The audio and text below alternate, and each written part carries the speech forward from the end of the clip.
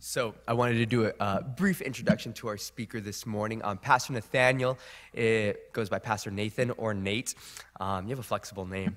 Um, he uh, is coming to us from Orange County area. Um, he pastors a church over there in Laguna, Laguna SDA, I believe it's called. And um, he took time out his weekend um, to be able to come down here and bless us for um, our Faith, Hope, Love weekend. Um, Faith, Hope, Love kind of serves as a revival for our campus and for the surrounding community. Um, and uh, I think he's done exactly that. God has used him to help revive us this weekend. So, Pastor Nathan, we're looking forward to uh, hearing you today. Thank you.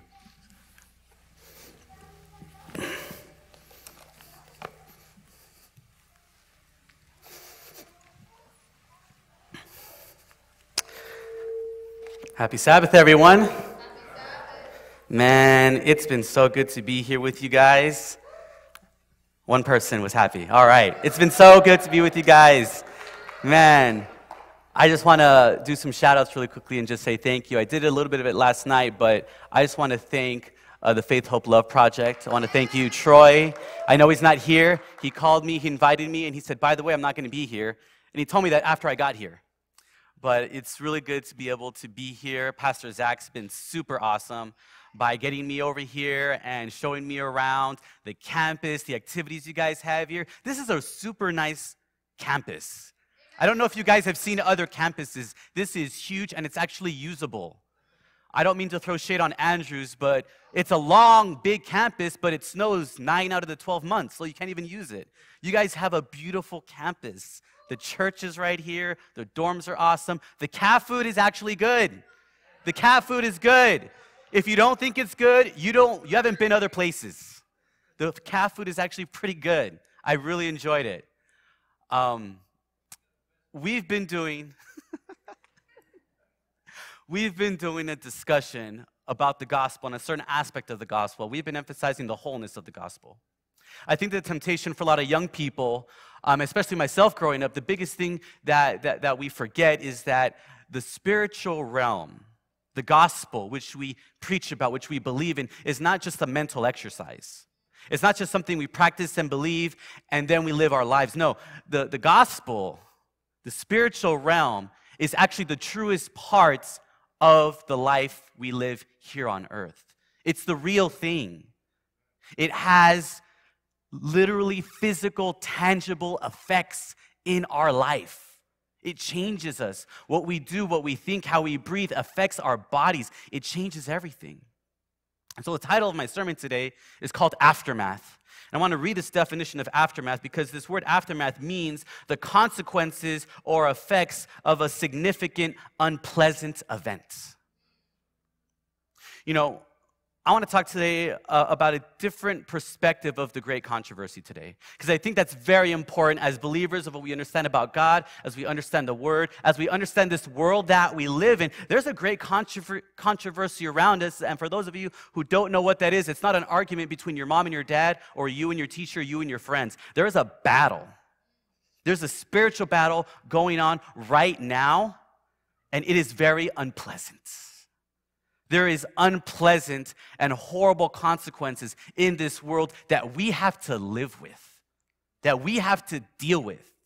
And we're part of this big drama that has unfolded in this world. And so today I want to share a quick story about myself and then move into some biblical principles and scriptures. There's going to be a lot of scriptures today, so I'm going to throw a lot at you. Some of you guys have been introduced to some of these concepts, some of you have not. And so bear with me as we go through this because today we're going to be getting into the word. Is that okay?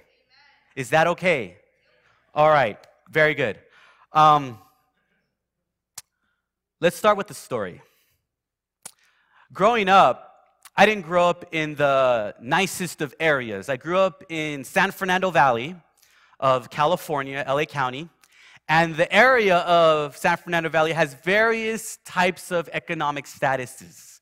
Some areas towards the more of the closer to the beach are more well to do, nicer communities, nicer schools, nicer malls. The streets are better. The police answer a lot more quickly. And then on the other side, it's not so well, and that's where I grew up.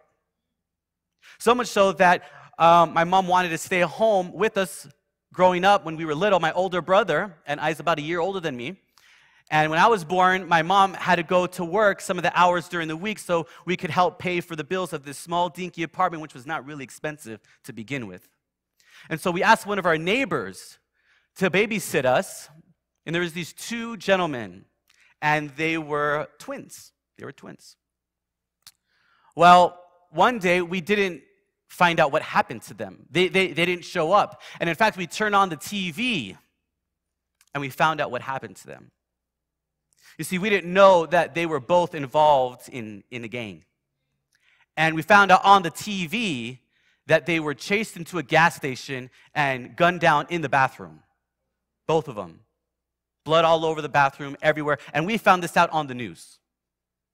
My mom was horrified, and so we got our things, we moved to another place. And in this apartment building, uh, there's, it's kind of like a condo, but it's not, it's an apartment. And so we're upstairs, my mom's downstairs in the kitchen, and she's like, I know this area is not safe, but I'm not taking a chance because these are my boys. So my dad's at work, he has three or four jobs Burger King, McDonald's, Taco Bell. He's working like a bunch of food places just to make ends meet so my mom can stay home and watch us. So my mom's downstairs, we're upstairs jumping on the bed, and for some ironic, weird reason, I'm jumping on the bed, the window's open, and I jump through the screen down two stories onto the concrete. My mom flips because she hears my older brother screaming. All the neighbors are around. Someone put a blanket over me. My mom didn't want to see what was going on. And I was airlifted to one of the hospitals. Ironically, one of my distant uncles, who doesn't have our last name, knew what was going on, and he was a surgeon. And so he was in the room because he wanted to make sure whatever happened to me would help me to live because no one knew what was going on at this point. And when they put me in, I got in the hospital, I'm in the room. It wasn't even a couple hours later that they called my mom, they called our family, and they say, We don't understand what's going on. And my mom's in tears and crying and saying, What happened? What happened? We're like, He doesn't even have a bruise. We don't know what's going on. Are you sure he fell from the window? Because there's nothing wrong with him. You know, and I was I grew up hearing these things. I grew up hearing, man, all these things happen to you, and there's many more that even CPS came to my parents' house and said, you know, we're hearing all these things. What are you doing to your kids? I've drowned in pools multiple times. For some reason, my mom left me with my brother and she went somewhere, and multiple times she's coming. I'm at the bottom of the pool, I'm just looking up, and she dives in, and I've gone to the hospital for that. Like these sorts of things kept happening in my life. And then my mom kept on telling this to me as I was growing up hey, for some reason, for some reason, you're still here. I'm like, yeah, it's a coincidence. It's luck. It's, it's not a big deal.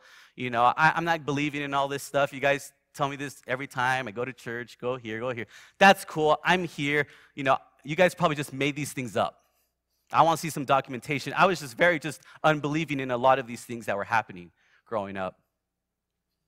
And I got a huge wake up call. And This was something that I caused, that I did. I was a senior in high school, and I was at my uncle's house. We just finished watching a Laker game, and they won, and I was going crazy. I was super excited. And I just got my license. My older brother and my cousin, they had this big, heavy metal, really expensive Jeep. And they were just saying, hey, let's race to, to grandma and grandpa's house in Simi Valley, about a 45 minute drive. Let's, let's go ahead and race. And my uncle's there, and he overhears and he goes, hey guys, it's not a good idea. It's pouring rain out there. Not a good idea. And we're like, okay, Theo, don't worry. We're not going to go too fast. It'll, it'll be fine. So I get in my parents' car that they let me drive. And then my brother and my cousin get in the Jeep, and they take off, and we start racing. So we're on the freeway in the pouring rain. I have my window wipers going crazy. I barely could see the road in front of me, and we're weaving in and out of traffic, just in and out. And my brother and my cousin start picking up on me. And I'm like, man, I got to catch up. So I swerve into the carpool lane, and I just gun it. I go into one of the underpasses, and as soon as I hit the underpass, there's like a little bump. The car hits that bump, hydroplane slams into the center divider, the car flips and it rolls down the freeway. And the only thing I could remember is completely having the car on its side, skidding down, the window shattered on the impact. The glass sh- uh, went all over the place. Some got in my face, some, some got embedded into my head.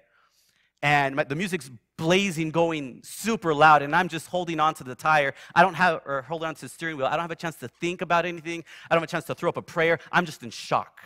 I'm holding tight to the steering wheel, and I'm just looking at the ground as my car is going down the freeway. All of a sudden, I just close my eyes. I don't say a prayer. I don't say anything. I'm like, I didn't, I didn't know what to think. I'm just like, close my eyes. I'm just holding on. And the next thing I know, I open my eyes. My car is right side up, stopped. No cars hit me. Cars are way, way behind. My music is blaring, going crazy. Window wipers are going, and I'm sitting there just hearing the rain, the hard rain pour on my car. And I'm freaking out. And the first thing that comes to my mind is get out of the car. The car's gonna blow up because I've watched a lot of movies. So I'm like, I gotta get out of the car. So I jump out of the car, I run a couple feet ahead, and this random guy, who I believe was an angel, random guy came out of his car, didn't even look, didn't even stop to talk. He just ran, put flares all around my car, many car lengths back, and he just started putting flares all the way around, all the way around, all the way around. Then jumped back in his car and took off. And I had the awkward conversation of calling my dad on the phone, on the freeway, saying, Hey, dad, I need you to come and pick me up. I just destroyed your car. I flipped it. I think it's gonna blow up. Can you come here and pick me up because I'm freaking out? And my, dad, my dad starts laughing. He's like, Yeah, sure. I'm like, Dad, I'm serious. And then he could hear my voice.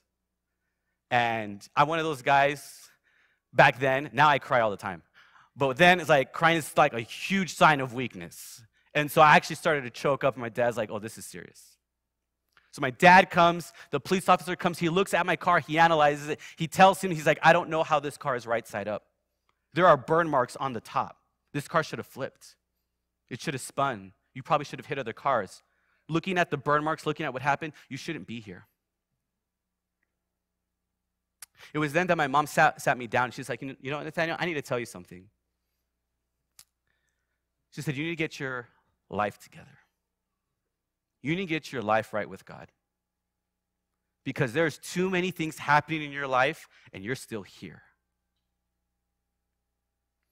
And the main thing I want to share with you today is my mom shared with me this, this thing that really, really started me searching the scriptures.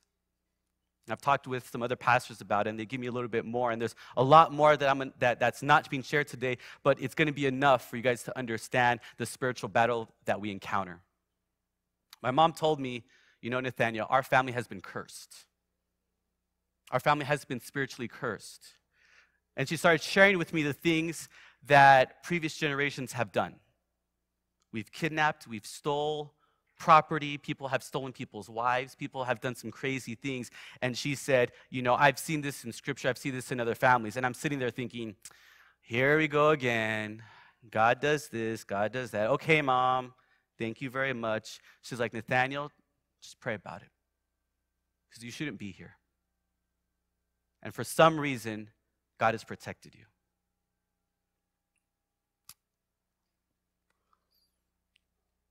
Aftermath consequences of a significant, unpleasant event. The devil fights dirty. The devil doesn't care about you. And the world that we live in, many people just believe that it's us and that's it. Other people may believe it's us and sometimes obeying God, sometimes not listening to God, sometimes acknowledging Him. And then there's others, what the Bible really talks about. There's us, there's God, and there's a devil. There's a real devil out there, and he's out for each and every one of us. There's a devil out there, and it's clear in Scripture. And there's a great controversy going around us that if we would open our eyes and see what God is trying to do in our lives, we would be horrified by what the devil has done and what he keeps on trying to do. Before we go into the word and see some stories and see some scriptures, I want to have a quick word of prayer with you. Let us pray. Dear God, if we only knew the depth and the power that you have and the way you hold yourself back to give us the freedom to choose to love you as much as you love us. God, if we under, understood the depth of the power that the enemy also has, but you have restricted. And God, in the midst of all of these things, this life that we live, the busyness, the craziness, the decisions,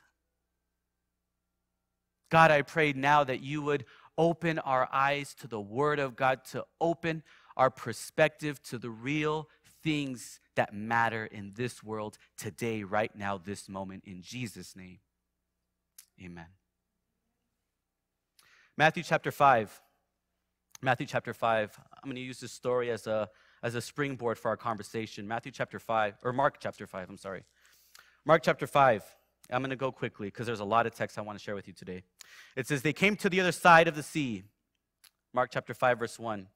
To the country of the Gerasenes. And when they stepped out of the boat, immediately a man out of the tomb with an unclean spirit met him. He lived among the tomb, and no one could restrain him anymore, even with chains, for he had often been restrained with shackles and chains, but the chains were wrenched apart, and the shackles he broke in pieces, and no one had the strength to subdue him.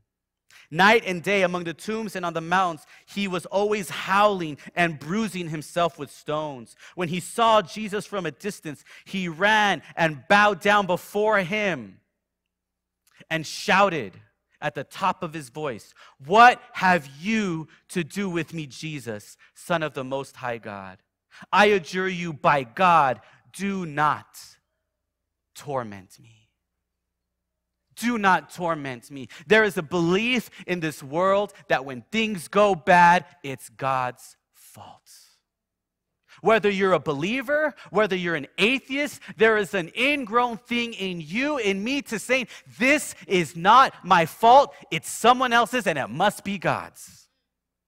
You see this story of the location of the Gerasenes. It's near the Decapolis. And in this region, most of these people were Gentiles. They were unbelievers. And it was not a very well to do area. These were probably a lot of poor people. These were fishermen. And these people did not know anything about God. But when they heard about this Jesus and that he had power, a lot of them were curious about him. And this man, be filled with the Spirit, with the devil in him, came over to Jesus and said, You're the reason. Do not torment me. You're the cause. You're the reason. This is the world we live in.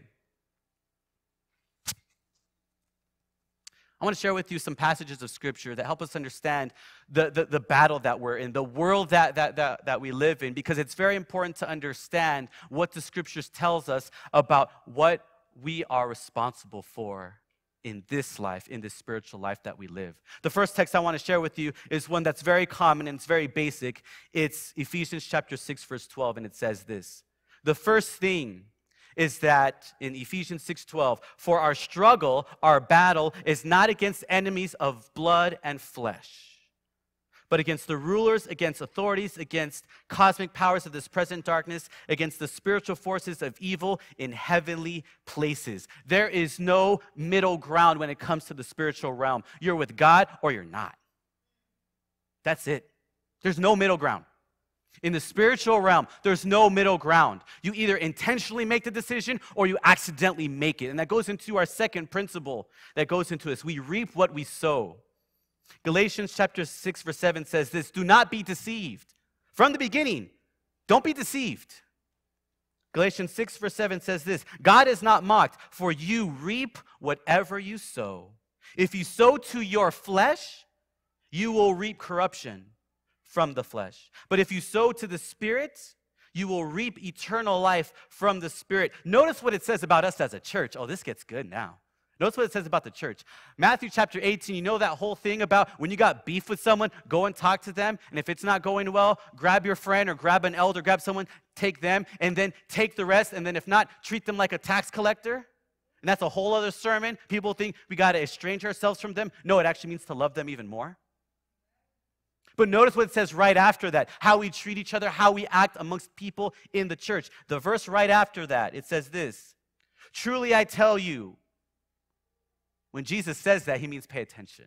You guys know that, right? When Jesus is saying truly, he's like, hey, this is, this is something you need to pay attention to. Truly, I tell you, whatever you bind on earth will be bound in heaven. Whatever you loose on earth will be loosed in heaven. You inherit the spiritual blessings of God. You are in his protection. Did you know that when you get baptized, you align yourself with God? You put yourself under his reign, under his protection, under his covenant. Is this making sense? Have you guys heard that God made a covenant with us? When God died on the cross, he made a covenant, an open covenant that you, if you choose to believe in him, you will have eternal life. You put yourself under the protection of the Most High God. But with that decision, guess what there also is? If you sow to the Spirit, you sow to the Spirit and get eternal life. But if you sow to the flesh, you sow to what? corruption. And it goes deeper.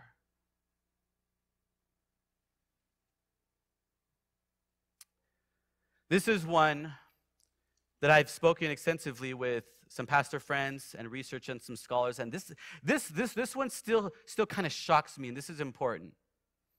There is no causeless curse. There is no causeless curse. Curses just don't happen. Proverbs chapter 26, verse 7 says this Just as a bird has reason to flee and a swallow to fly, so a curse does not come without a reason. If there's a bird that all of a sudden flies, there's a reason. If it's on a bench or it's on somewhere, there might be something coming or it's flying to get food. The bird just doesn't stand there and fly. The swallow doesn't fly. It's giving an example. Look, when these things happen, there's a cause. There's a cause. We see in Deuteronomy chapter 3, Balak, the king of Moab, he gets Balaam. He says, I need you to curse Israel, curse them. And he tried and he couldn't. And you know why? Because they were under the rights and the protection of the Most High God. They couldn't be cursed. They couldn't have the devil's power on them. Notice what it says here in Deuteronomy 23, verse 5. Guys, I'm quoting scripture. It's all here. You could look it up. Deuteronomy 23 5, it says this Yet the Lord your God refused to heed Balaam's curse. The Lord your God turned the curse into a blessing. Because the Lord your God loved you. When you make alliance with God, when curses come, they don't touch.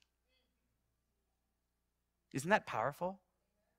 God hears this curse, he's like, uh uh-uh, uh, those, those are mine. You can't curse them. But you know what I am going to do? I'm going to bless them instead.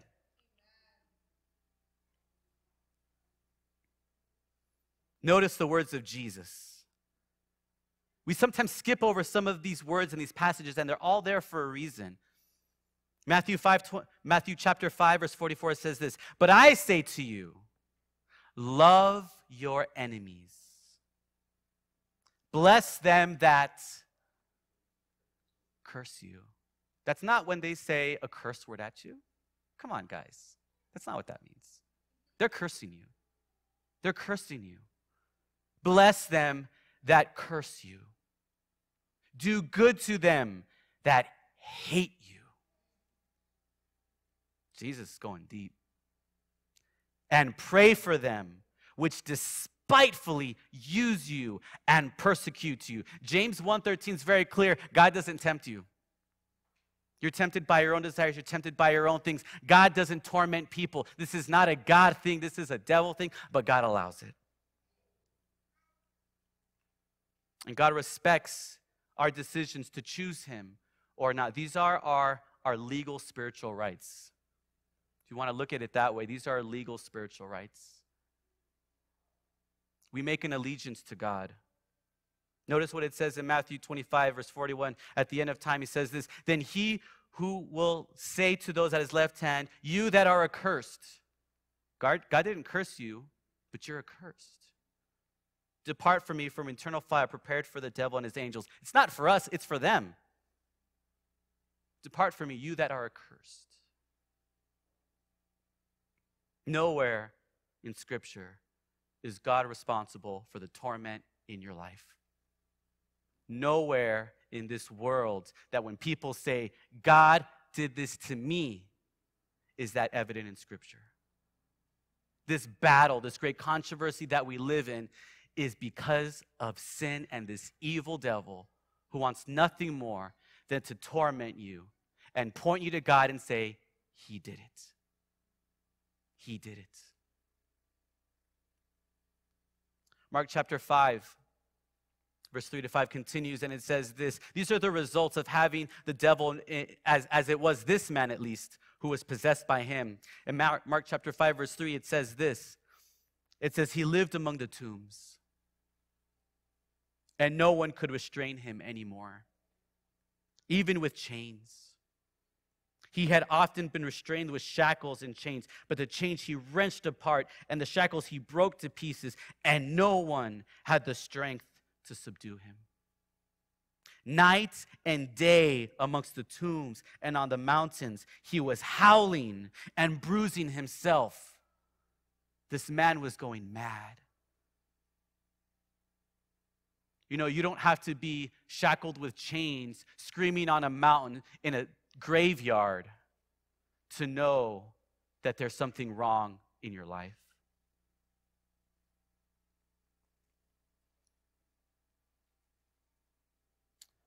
I want to share some good news with you, though.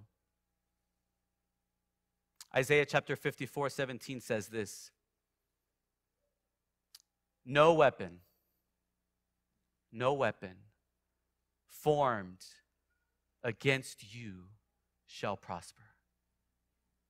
And every tongue which rises against you in judgment, you shall condemn. This is the inheritance, the inheritance of the servants of the Lord. And their righteousness is from me. And in case you don't know who it's from, says the Lord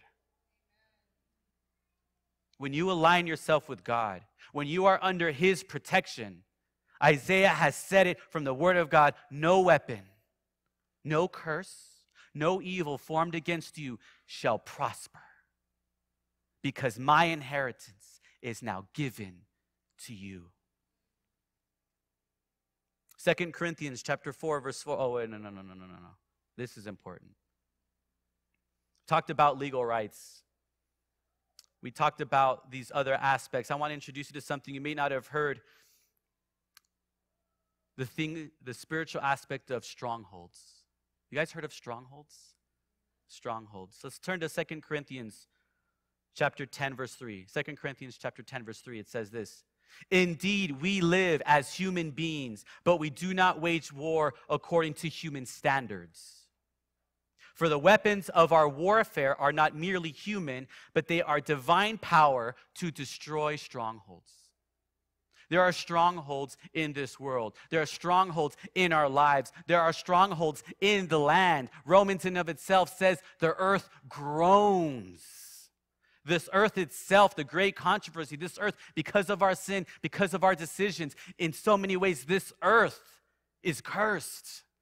And the devil for a time, owned it. We're going to get into that for a second. But the earth itself groans.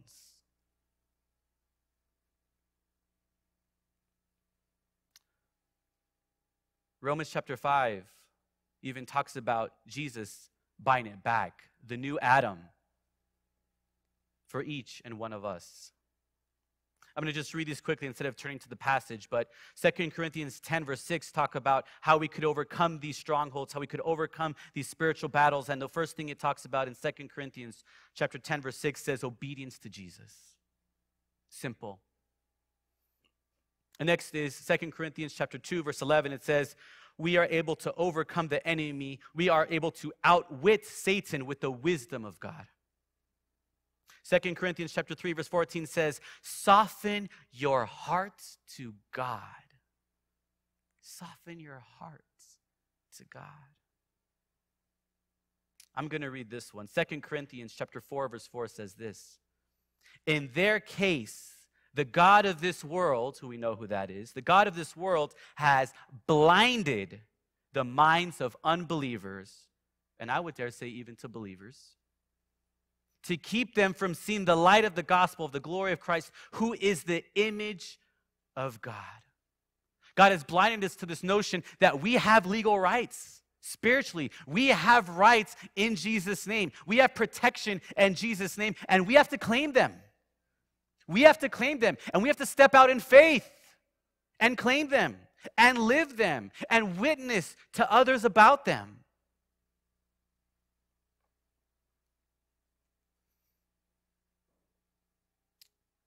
There's strongholds in this world. I want to share a couple examples of that, some stories, but I want to finish talking about the next one. What are some things that we are blinded to? Have any of you heard about familiar spirits in Scripture? Familiar spirits. It's another word of saying familial spirits. I'm going to go through a, a quick um, overview of uh, parts of Scripture. In Isaiah chapter 19, verse 2 to 3, it says this. I'm going to talk a little bit about brief, super brief history of, of, of Israel and the involvement of these familiar spirits. Isaiah chapter 19, 2 to 3 says this I will stir up the Egyptians against the Egyptians, and they will fight one against the other, neighbor against neighbor, city against city, kingdom against kingdom. The spirit of the Egyptians within them will be emptied out, and I will confound their plans. They will consult their idols and the spirits of the dead and the ghosts of their familiar, familiar spirits. You see, any group that doesn't align themselves with God and is under the reign of God and has their own God, they form their own group, their own tribe. They have their own God, their own idols, their own spirits. And we all know that those are just demons. But especially during the Old Testament, you see these other regions the Egyptians, the Assyrians, the Philistines, all these different gods they worshiped, they aligned themselves with. And when God came and He allowed them to take over and get the land back, they removed these spirits as well. Let's look at a little history. Obviously, we know after Adam and Eve sinned, the ground was cursed. They had to leave, there was death. Ellen White talks about this powerful thing that when they saw the first petal on the rose fall, they wept because they saw death for the first time. Then obviously, there's after the flood. Noah's son. I want to read this. Noah's son Ham. Genesis 9 21 to 23 talks about Ham and his brothers, his father got drunk. He was hidden inside, and Ham saw his father's nakedness. And instead of feeling embarrassed or trying to cover him up, he went to make sport of it, tell his other brothers, and say, Hey, dad's over there wasted and he's drunk. Let's go make fun of this. is funny. And the brothers, instead of joining their brother and mocking him, they put their backs to him, grab a cloak, and cover him. And when Noah comes to himself, listen to what he says. Genesis 9 25 says this Cursed be Canaan. Canaan are his children. Cursed be your children. Lowest of slaves shall be to his brothers. If you look at that in verse 15 to 18, it says this Ham's descendants are Cush, Egypt, Put, and Canaan. Canaan became the father of Sidon, the firstborn, the Heth, the Jebusites, the Amorites, the Girgashites, the Hivites, the Arkites, all these things. And if you go down now to Genesis, we're going deep, guys. Follow me. We're going deep. Genesis chapter 15. God's talking to Abraham. And he says this to him. Genesis chapter 15, verse 13. He says this The Lord your God said to Abram, Know this, Abraham, for certain that your offspring shall be aliens in the land that is not theirs.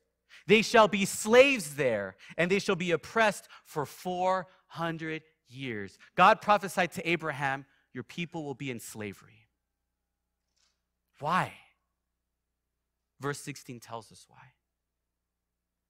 And they shall come back in the fourth generation, for the iniquity of the Amorites is not yet complete. The Amorites were killing their own children. They were burning them, passing them through the fire. They would not care how they treated. They wanted to have prosperity. They wanted to have whatever they want, whatever came to mind. They aligned themselves to their own gods, to their own beliefs. And God's like, in order to protect my people, I'm going to keep them over here until this is done. And then when he brought them out, where did he take them to? The land of Canaan.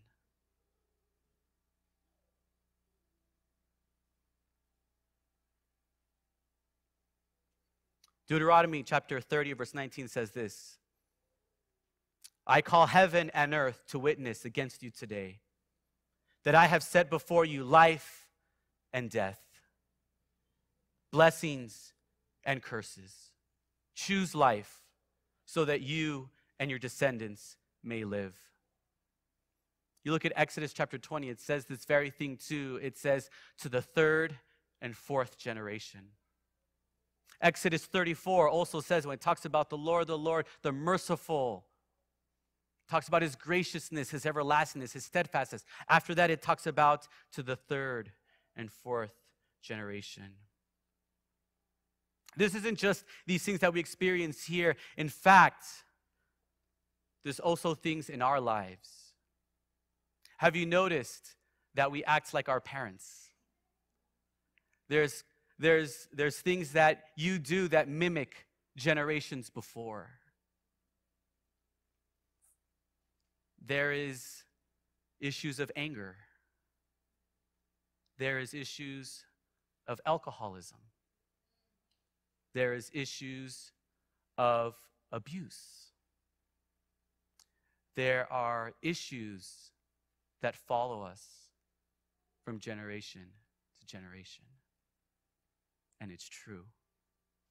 This is a spiritual thing, but it has tangible, physical, real, unpleasant results.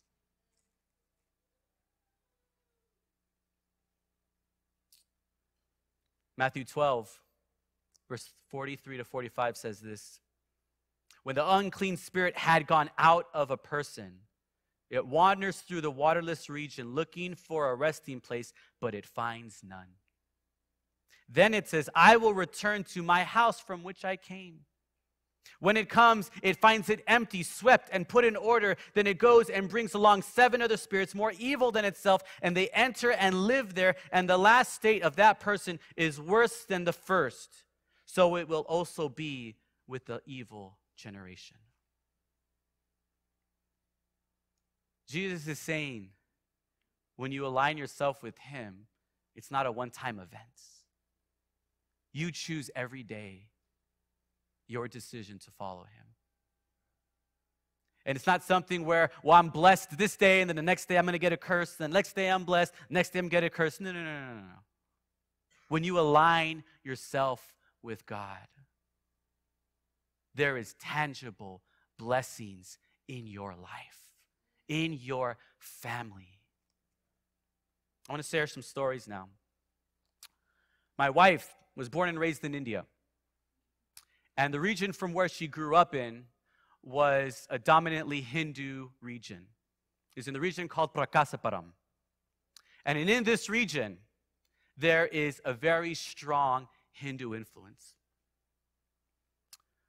Well, where her parents grew up, in a different region, that was the first place where Adventism and the gospel, Christianity in general, came.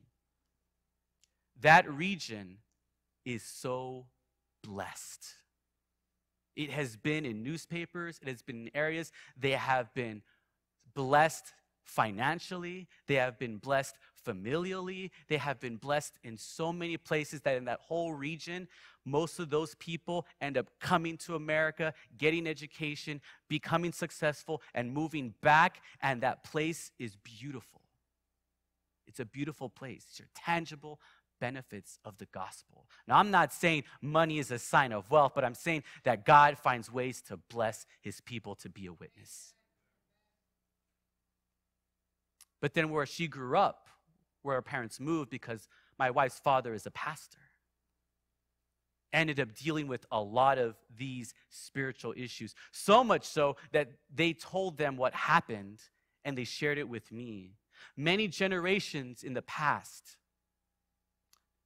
there was the great grandmother who wanted the neighbor's wife for her son. Their only child. And they took her from the neighbor's house, brought that daughter into their house and saying, You're going to be married to my son. And that family stood out on the gates on this dirt road, picking up dry dirt and throwing it at the house and blurting curses at them. Curse you for taking my only daughter. May curses fall on your family and your generations and your generations until this day, five generations later.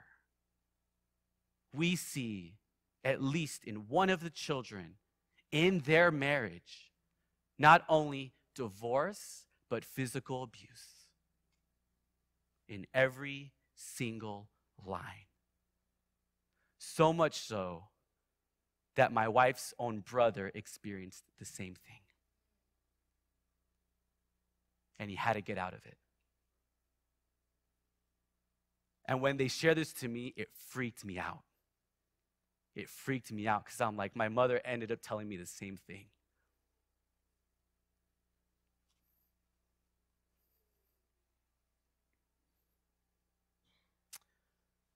They have this prayer in their family from Psalm 103, 1 through 3. It's a promise. I'm not going to say it in the language, it might, freak, it might freak you out. You might think I'm doing a curse. I'm not. It's a blessing. But it's Psalm 103, 1 through 3. And it's Bless the Lord, O my soul, and all that is within me. Bless his holy name. Bless the Lord, O my soul, and do not forget all his benefits who forgives all your iniquity, who heals all your diseases. We stand in a circle and we pray.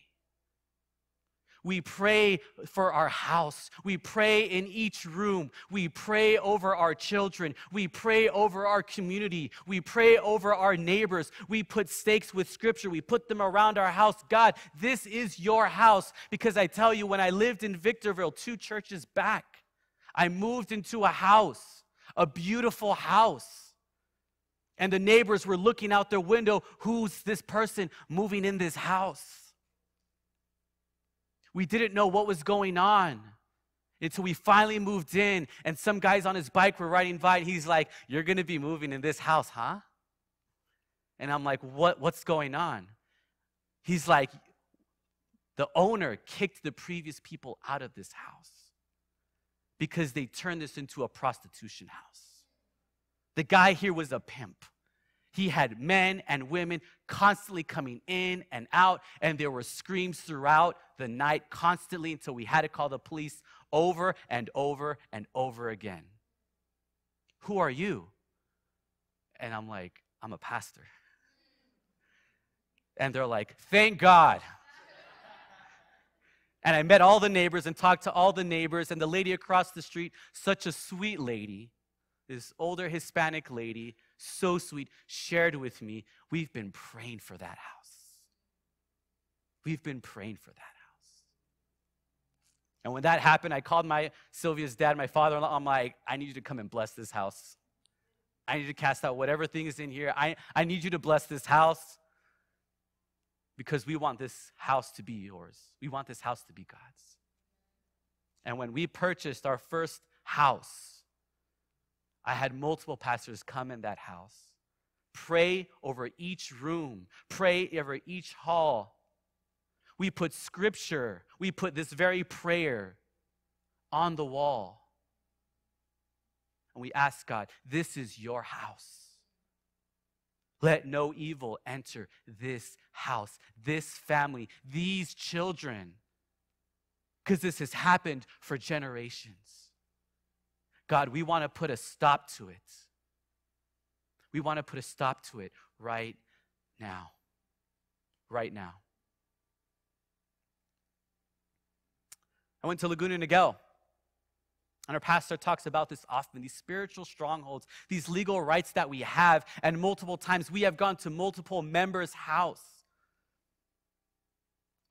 Three members, I'll share just one because of time. There was a family. They moved into the area. This woman was back from the Philippines and she encountered a similar situation where there was curses put on her family and this has been happening for generations and they moved to this house in laguna and they said there's something in this house there's something wrong we don't know what it is everyone thinks we're crazy Every pastor we go to, they say we're delusional. Every place we go to, they say this isn't real. It's all in your head, but we know that you guys believe in this. And I'm like, yeah, I do.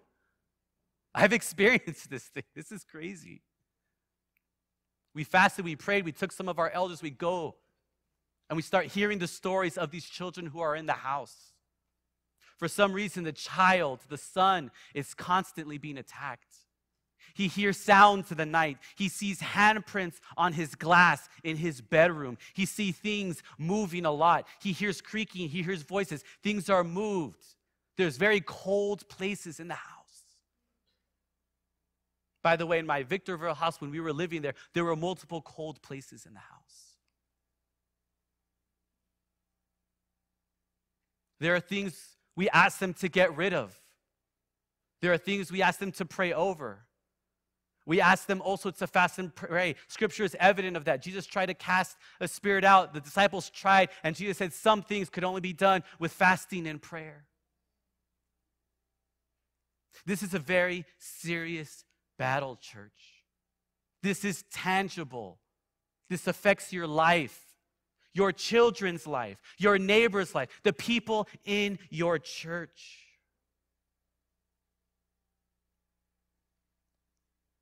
Mark chapter 5, verse 15 continues and it says this. After Jesus cast this spirit, this demon, this legion, after he cast this thing out, it says this they, the people of the surrounding community, the unbelievers in the area, they came to Jesus and saw the demoniac sitting there, clothed uses that word specifically embraced, covered, drenched, clothed in his right mind. The very man who had the legion, but now they're afraid. Now they're afraid.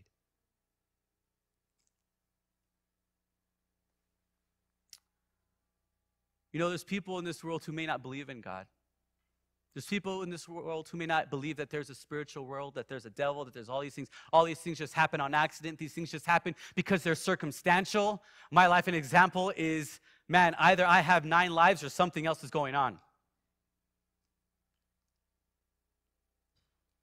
But these people were not afraid of this man growing and cutting himself. They couldn't shackle him, but they were scared that he was in his right mind because they saw there was a power that changed that. They were afraid of who Jesus was, and they say, You get out. Jesus, leave this place. We don't want you here. But they're okay with the man screaming and howling, beating himself, possessed, can't do anything, but they're okay with that. But when they see the power of God, they are afraid and say, Jesus, you have to leave. You have to leave. This is the world we live in. When the power of God is shown, people, if they're not with it, they don't want it. They say, get it out. Pretend it's not there. But I have encouragement for you today, church. Second Corinthians chapter 5 verse 21 says this, "For our sake he made to be sin who knew no sin, so that in him we might become the righteousness of God." You see, in this spiritual battle, in these lines that have been drawn, in these battle lines that we live in that many people ignore, Jesus himself broke through those barriers. Jesus broke through those barriers in perfect heaven, is nothing wrong, no sin, no darkness. He broke through everything to this world. And though he was not sin, he took it on. He took it on for you and for me so that you wouldn't have to deal with it. But we have to know about this battle, church. We have to know that it's real. We have to know that it exists. We have to know that it affects us in a tangible and real way. And God says, I don't want you to worry about it. I'll take care of it. But you need to know that there are lines that are drawn, and I'm the only one who can do it. And people don't like that. And they say, Jesus, you got to go.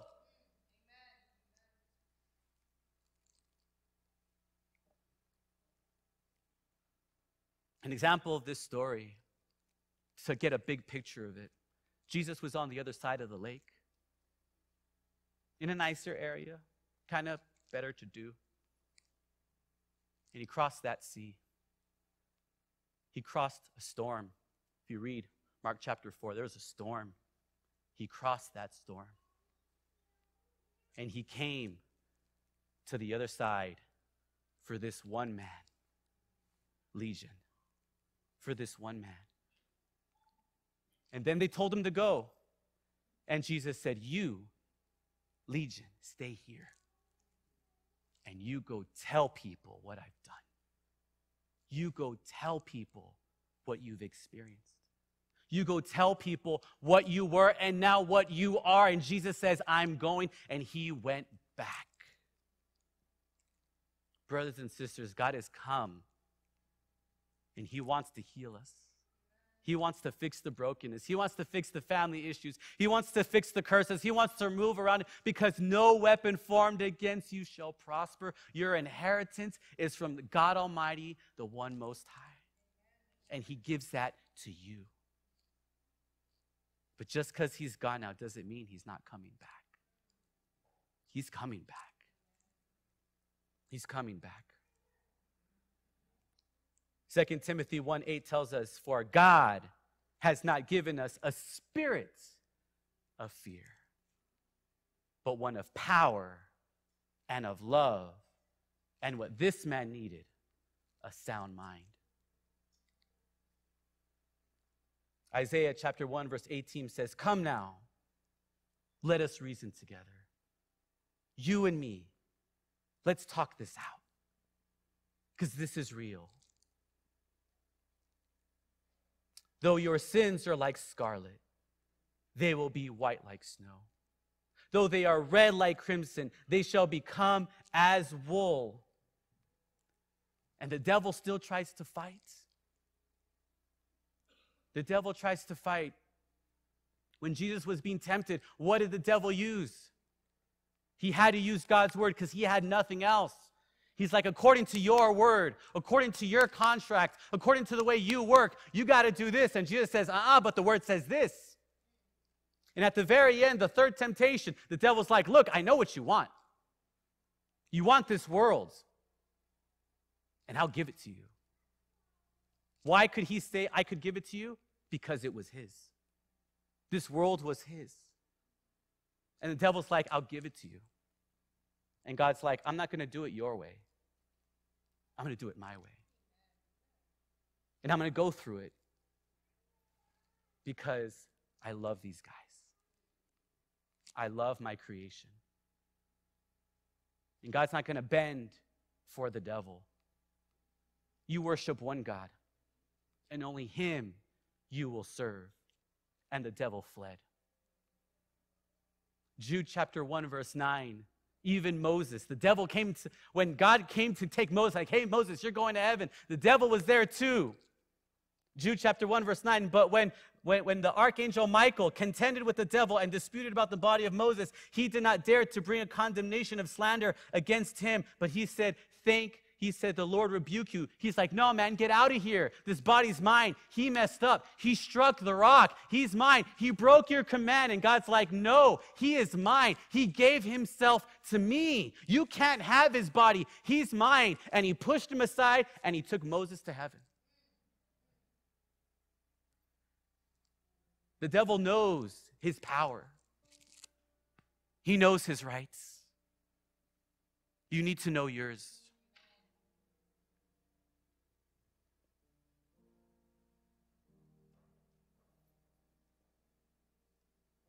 There's a great controversy, church.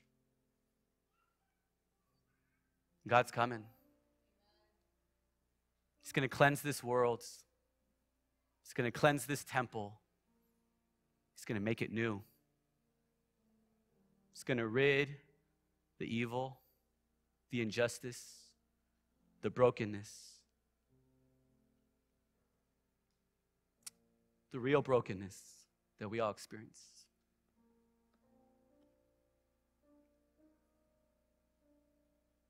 Or do you not know that your body is a temple? Is a temple.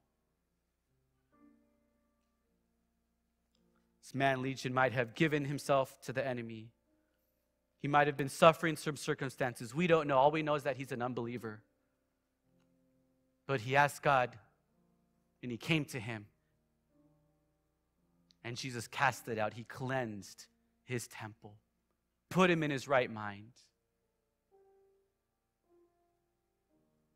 You have been bought with the highest price of the blood of Jesus. The highest price. You couldn't do it. I couldn't do it. But He gives it to you.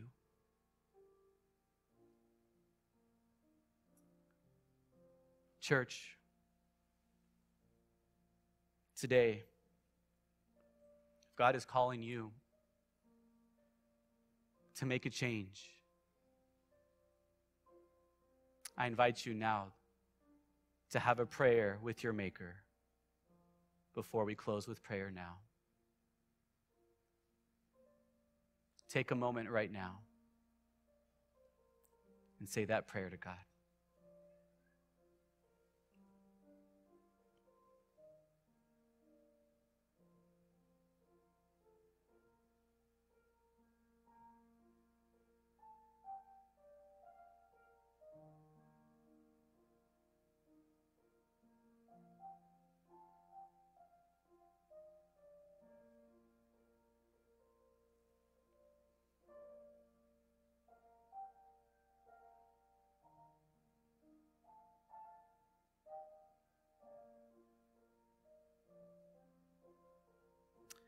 God, there is a battle. But the beautiful thing is, you've already won. God, I pray that we have been encouraged that when we align ourselves with you, there is no weapon formed against us that shall prosper. You say, Come, my child. Let us reason together.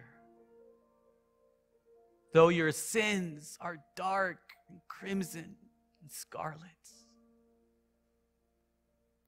they shall be as wool and white as snow. God, may you open our eyes, put us in our right mind, give us the faith and the power and the love, this faith, hope, love project, Lord, to be the witness wherever we go. In Jesus' name. And God's people said,